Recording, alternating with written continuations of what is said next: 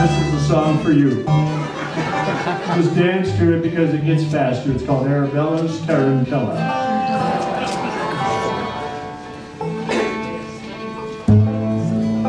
Two, three, four.